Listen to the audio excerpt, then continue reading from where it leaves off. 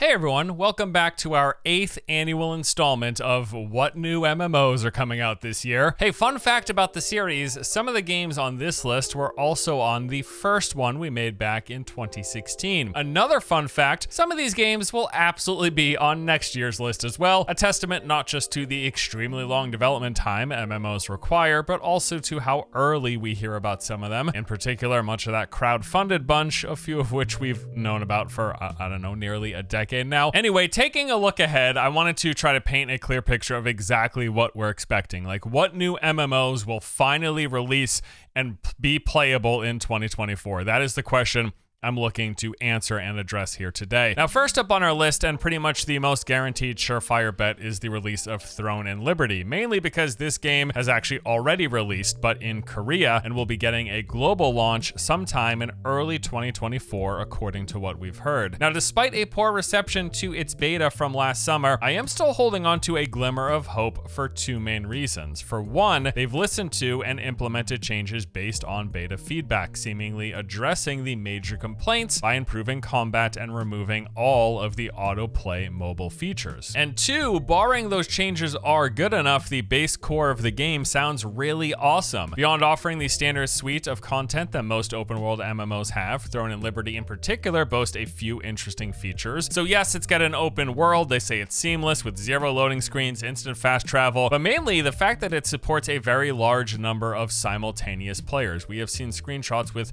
hundreds and hundreds of players players on screen, and the game looks pretty good on top of that to boot. As an Unreal Engine 4 game, even without upgrading to UE5, the visuals are a selling point for me. From the raw gameplay that I've seen, and by all accounts, this is a pretty good looking game, and beyond looking good, it appears to have some great clarity and render distance, which make that open world that's seamless with tons of players all that much more impressive. They do have the expected assortment of biomes. There's fantasy and medieval inspired locations with both PvE and PvP offerings. On the PvE side, side, there's a big focus on difficult group content. We've seen quite a few large-scale boss battles with both instance and open world encounters. They've got solo challenges like this boss tower rush. There's a fully open world, multi-layer, non-instance dungeon system, kind of along the lines of, I don't know, I think of something like public dungeons in ESO, but much bigger, fully open world, more sprawling, and with a lot more players. PvP will include small-scale skirmishes, large open world battles where players fight over territory or bosses. There's castle sieges with hundreds hundreds of players defending and attacking. They've got this really cool dynamic weather and time of day system that directly affects enemies, your abilities, and even the terrain. So this includes doing things like making enemies stronger or weaker depending on the weather, or enhancing or debuffing player abilities, or restricting and or opening up access to various parts of the world. Besides weather, the day-night cycle also plays into this as well. There's a ton of traversal features with you being able to mantle and climb most of the environment. You got a grapple hook and can transform into a variety of animals animals, and the game features a classless system where you are not locked into a role or class when making a character. Instead, your skills and abilities are determined by whatever two weapons you choose to equip, much along the same lines of what you see in something like New World or Albion Online. Yeah, Throne and Liberty sounds really great on many, many levels. I think one of the biggest sticking points at the moment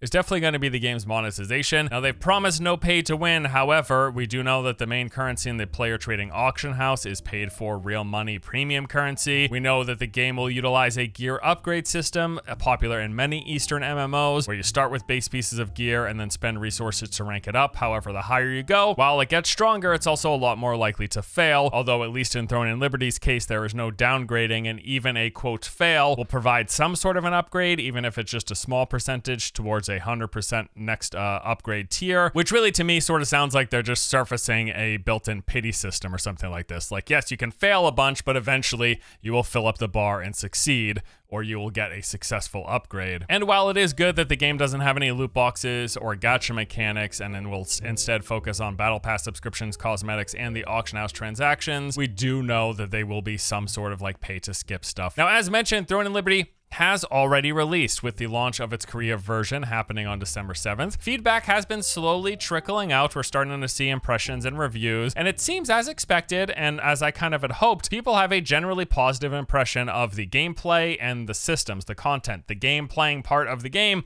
seems pretty good, but a lot of people at the same time are not terribly thrilled about the monetization. Surprise, surprise. Now, changes can be made. It is possible. There might be some differences between this version of the game and the one that we get globally and here in the West. We'll have to wait and see. Like mentioned, a global release for Throne and Liberty is planned for early 2024, although as of this recording, no exact date has been announced. I do think there's a strong possibility we find out sometime soon. Dune Awakening is an open world survival MMO being developed by Funcom. Now, this studio is probably best known for their multiplayer survival game Conan Exiles, but they also have a long history of making the more traditional style MMO, including Anarchy Online back in 2001 and Age of Conan in 08. Now, for their next game, it looks like they will be combining this past experience, making something that pulls a bit from both of these genres. They have said that Dune Awakening will have the social interactivity of large scale persistent multiplayer games, while also including unique and ambitious survival mechanics. All of this set in a vast and seamless world, the dunes of Arrakis, that will be inhabited and shared by thousands of players. Now, when they say shared by thousands in my head, I think, yeah, simultaneously all on the same server,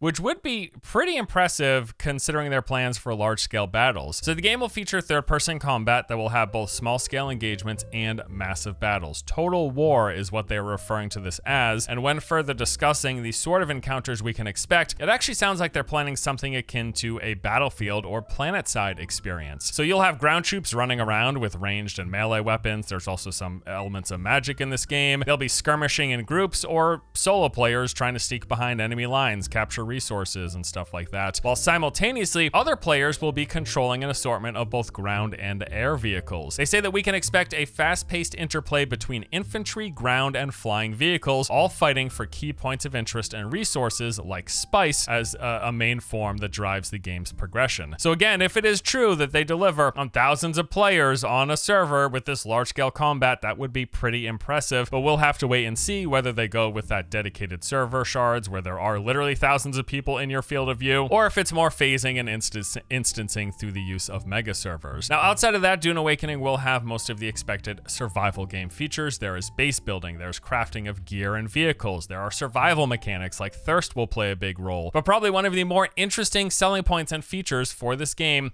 it all revolves around its setting. So in the world of Dune, the environment is a constant threat, and as such, massive sandstorms regularly change the landscape. This will mean areas that you visited the day prior could become buried, but at the same time, the shifting sands will reveal new locations and secrets, from resources to crashed ships and ancient testing stations. After a storm comes by, when the dust settles, players will then compete, scouting the fresh new landscape to see what was uncovered. And then there are the sandworms. Now, these are drawn to disturbances, including things like combat. So those large battles we talked about, the longer they go on, the more gunfire and the more commotion that gets kicked up, the more likely a sandworm is to be drawn to it and appear, emerging from the sand and swallowing everything in its path. Uh, if one shows up and you are in its mouth vicinity, you are basically done for. And if I recall correctly, they have talked about some sort of gear loss upon death or something like that, because yes, there are many survival elements in this game. Now, unfortunately, as of yet, we have not actually seen any raw gameplay gameplay. Most of the details and information about Dune Awakening have come from marketing and interviews and their website. We did, however, get that pre-alpha trailer with some in-engine footage, which I thought looked good, but of course we will have to wait and see until we actually see the game running, controlled by a player, or better yet, get to play the game ourselves. Uh, but from what I've seen and heard so far, I think this one seems promising. Dune Awakening is set to enter Steam Early Access in 2024. They have already begun beta testing and have actually had a few rounds already. In fact, they're still actively testing as far as I'm aware, and you can register to enter and be accepted over on their website. Once Human is a third-person open-world MMO that heavily combines systems and mechanics from both the looter shooter and survival games genre. Now this one kind of came out of nowhere and has been a real pleasant surprise. I played it for a few days recently as part of a sponsorship, but then once that was done, I kind of just kept on playing, and it's been that way for nearly a week so. This game reminds me a lot of other games that I've enjoyed. It's like a mix of The Division, Defiance, Secret World, and survival stuff all put on top of it. We got a lot of survival in our MMOs nowadays, but I guess that's just how it is. So yes, on one hand, it feels just like an open world looter shooter, a la The Division, Defiance, or even Firefall. You'll go around the open world doing PvE stuff, fighting enemies and bosses, collecting materials and loot. This world is completely open. There's no loading screens as you're walking around and moving through the zones. And you'll see all of the usual expected flora and fauna of the different biomes that you explore, but jam-packed within that is a lot of locations, points of interest, and activities to do that kind of fill that shooting game looking for loot, harvesting resources. So first there are the strongholds, and this is really like the primary form of open world PvE activity. These are basically enemy camps. Uh, locations will consist of various settlements, outposts, hospitals, military bases, all sorts of things that will have a number of objectives within them that you go to complete for experience and loot. This will include things typically like killing X number of enemies, uh, a few elites or bosses, finding crates like weapon and gear caches, or these mysterious treasures. But beyond this sort of base checklist of objectives, most strongholds that we've seen have had basically hidden side quest or objectives as well. Like you might come across an area where you see a powered down elevator, and then you see nearby there is a fuse box and you need to find and place a fuse in it. Doing so then powers up the elevator, letting you take it to the top where you'll find a hidden boss or a loot chest. Or maybe in one town you come across a ghost who is in need of help and leads you to tracking down all sorts of clues in the area that eventually reveal their gravesite and have its own reward. Or maybe exploring one stronghold, you come across these pieces of paper with cryptic clues and numbers on them, and it turns out these were the number combinations for a locked container. It just seems like a lot, if not most of the strongholds will have these extra layers beyond the, that checklist of objectives that I've really appreciated. There's like something additional to discover about these areas rather than just killing enemies and opening chests. Outside of strongholds, there's all sorts of different world events, uh, dynamic events that can pop up as you explore. Like we'd be walking around and we'd see this fog roll in with a warning timer, and then inside of the fog were all these like crazy enemies, and, and if you kill them in time, you get some loot. There are roaming world bosses. At one point, I was in my base, I looked out the window, and there was a school bus with six legs stampeding across. I tried shooting it, and it said it was immune. I had no idea what was going on. We also saw this like massive, like uh, four or five story tall giant with a flowery head that emerged out of a screen at an amphitheater. Like really, really interesting stuff. There's like horde mode activities that can appear in the world where you gotta fight off waves of PvE enemies. And there's all sorts of other points of interest. Uh, outside of those main strongholds, there's a bunch of different smaller enemy camps where you can find things and kill enemies. There are NPC filled towns with vendors and side quests. There's teleportation towers. There are boss fights. These are called monoliths. We've already fought a few. There was the foul shadow hunter, which was like this twisted mutant with a gun for a hand and had all sorts of different things like summoning up ads and shooting rockets and spewing out poison pools. And then there was this treant boss, this big tree creature that summoned giant uh, tentacle branches and spit out bubbles that would track us down. It even shot down a, a freaking laser beam. And on top of these boss fights, there are additional kind of more typical group dungeons that you can do. The game's got PvP with open world PvP events, areas that are marked on the map where if you walk into it, you're flagged for PvP, you compete for rewards. There's also base raiding mechanics. If you go on PvP servers, it's like PvP all the time. You can actively attack other players' bases. And that is just like the uh, kind of MMO looter shooter side of the game.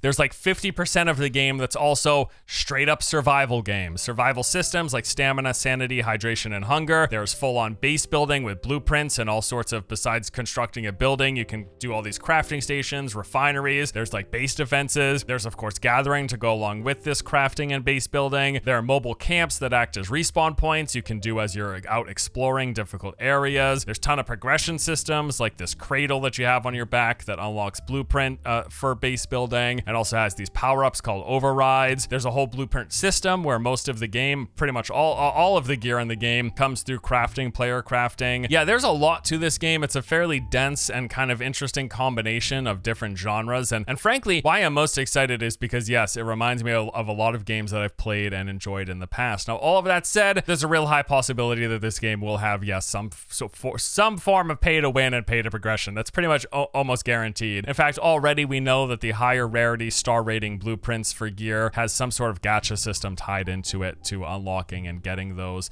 uh, higher highest tiers of gear. But that said, I've played like 30 hours now at the point of this recording, and I have not even really seen this stuff come into effect, although it is a beta, so maybe it's not as it will be at launch. But already there is just a lot of game here. There's a lot of game that I've enjoyed, and there are still things that I'm discovering every time that I play. It's just been a real pleasant surprise, I gotta tell you. So once Human is scheduled to release in 2024, and whatever comes to the game's monetization, I, I do have to say the content and features wide. At the moment, this is one of my more anticipated MMOs of this year. This isn't a, this isn't another sponsor from the like It's just, uh, it just this game took me by surprise, pleasantly. But yeah, that said, as far as we know, it's got gacha and probably will have pay to win. So if that's a deal breaker for you, I totally understand, right? Blue Protocol. This is an action combat anime MMO from Bandai Namco. Now, similar to Throne and Liberty, this game has actually already released in certain parts of the world, with a global version planned for 2024. And another similarity is that both games' global versions are being published by Amazon, which we'll get to that significance in just a moment. Now, I gotta say, I quite like the look of Blue Protocol, although anime isn't a personal interest or hobby of mine. The visuals and gameplay of this thing look fantastic. Like, I'm really impressed with how slick, smooth, responsive, and impactful combat appears to be. One big downside for this one, though, is that it's not an open world MMO. Instead, we're getting a lobby based shared world with instant zones, loading screens between them, and player caps. It appears that most zones will have a max capacity of 30 players. I think towns are said to be around 200 people. But outside of that, Blue Protocol does have the standard suite of offerings for theme park MMOs, plenty of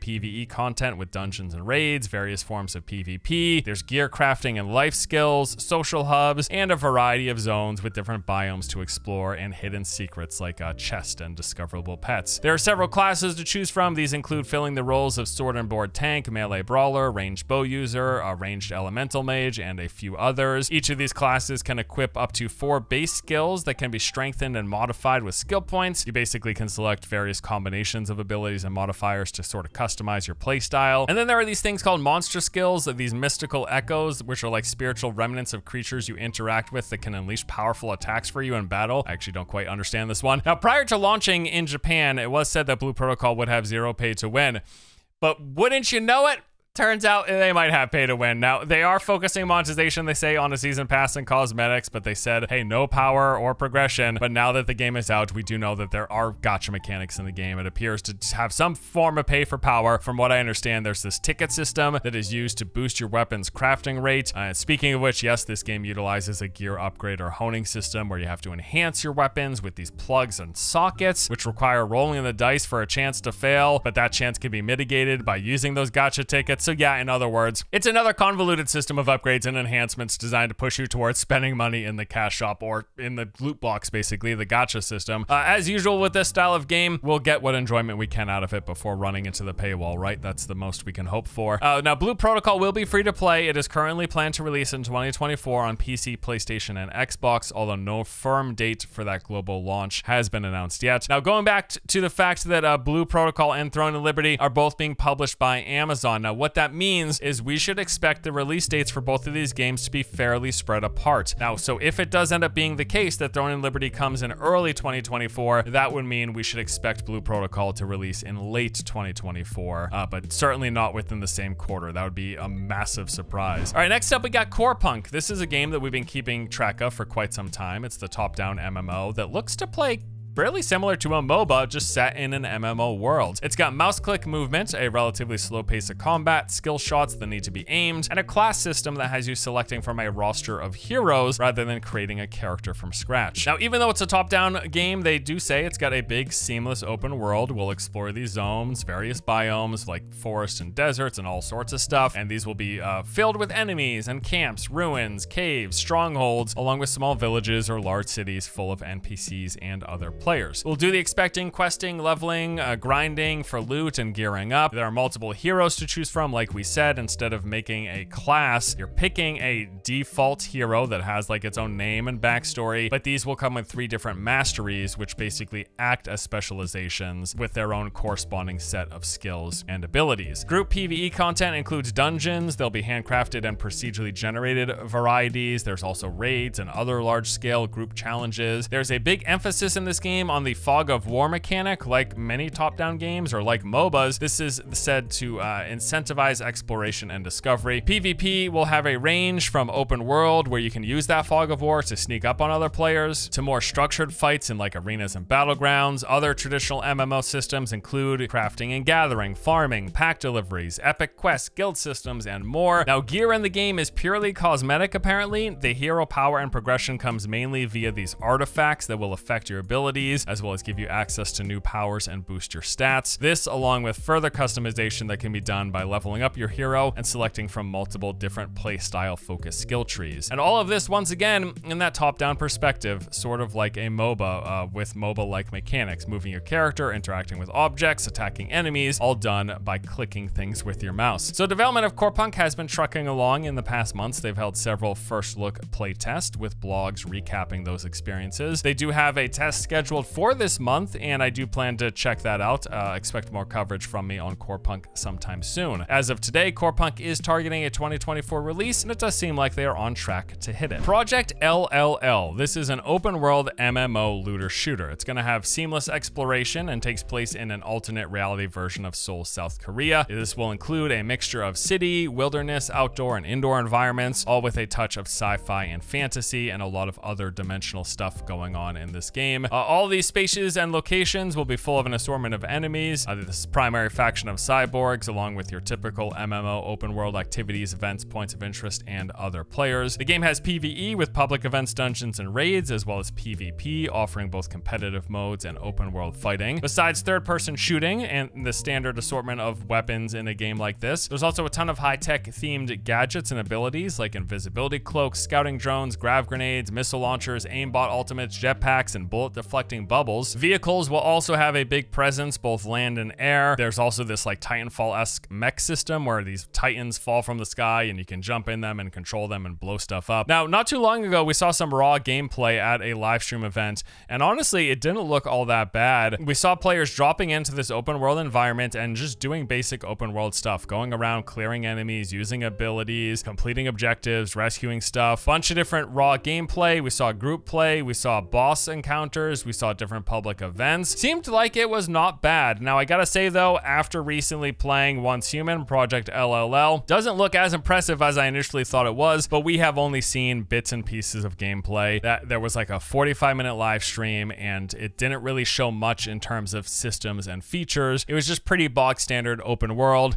Character drops in, you shoot enemies, you do a couple of objectives, which in this case, uh, they were mostly just like interacting with terminals. But I am still holding out hope. I do think that this game has a good premise, it has an interesting setting, and I just really hope they can deliver on features and systems uh, and have a lot more than what we have seen of the game thus far. I do understand that there's supposed to be a pretty big emphasis on PvP in this one, although we've yet to really see that in action. Now, there is one other MMO that is scheduled to release in 2024. It's called Ashfall, but having played a beta just a few months ago, I'll tell you up front, don't bother uh, just uh, it's absolutely not going to be worth your time. This is a mobile game being ported to PC and it feels very lacking in many ways. The look, the world, the systems, the gameplay, I disliked pretty much all of it unless you just really enjoy phone games and phone MMOs. If that's the case, by all means, play it, have a blast. But if you are a PC or console focused gamer, I will not expect too much out of this one. So those are all of the new MMOs we currently know have a release date planned and scheduled for sometime in 2024. But I know at this point you might be asking yourself, hey, what about all those like highly anticipated MMOs from these big name, big budget AAA developers? Well, fact of the matter is,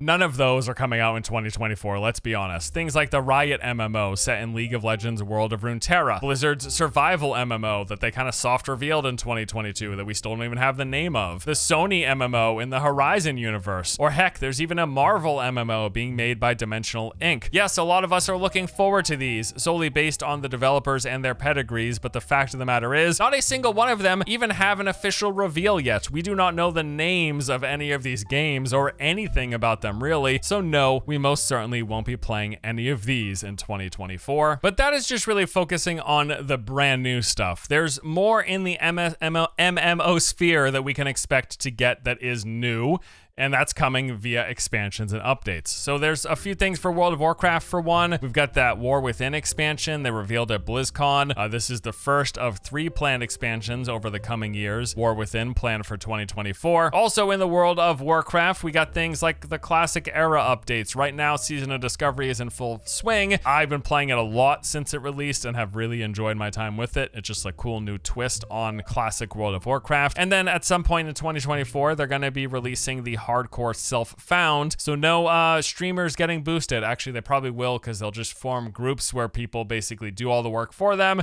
and then they just collect the gear. But you know, for the regular people, that, that aren't getting boosted by an audience. It, it's a cool new twist to hardcore. And then outside of World of Warcraft, we know that Elder Scrolls Online will be getting another year of updates. In fact, I should note this is the 10 year anniversary of its release, so this could be a pretty big year for an ESO update. And then we got new stuff coming to Final Fantasy XIV with Dawntrail. We expect new updates for Guild Wars 2. And frankly, most of the major MMOs are likely either getting big patches or expansions at some point in 2024. Outside of that, there is a very long list of still in development MMOs that we really aren't expecting to come out in 2024, likely 2025 or beyond. We're talking about Pax Dei, Soulframe, ArcheAge 2, Bitcraft, Project Ragnarok, Into the Echo, Chrono Odyssey, Odin Valhalla Rising, The Quinfall. How about those crowd-funded games, right? Like Ashes of Creation, Pantheon Rise of the Fallen, Camelot Unchained. Yeah, maybe it happens. Maybe I get struck by lightning, but we're not really expecting any of these games to come out in 2024. It's probably not happening. The good news is, besides the list of games that I did run through that are pretty much confirmed for this year, as with prior years, there's a good chance that some in development games that are nearing release or aren't on our radar or even haven't been officially revealed yet will come out in 2024. We can be taken by surprise. Some of these timelines could move forward and games that we don't expect to fully release may actually, at the very least, get something like an early access launch, or if that that's not the case, we are bound to see some alpha and beta tests take place for many, if not most of the games that I just mentioned. While it's not a full release, there will still be opportunity to get some hands-on time with many of the games mentioned here. But regardless, seems like it's going to be a pretty decent year for MMOs. There is quite a lot here that I'm looking forward to. And yeah, 2024, here's to some new MMOs. And yes, as I said at the top, there's uh, probably a good chunk of the games that we talked about that will be on 2025's list as well. That's just the way it is, right? All right, thanks. That's it. That's it for today. Thank you as always for watching. I hope you enjoyed the video. I'll see you next time, guys. Take it easy.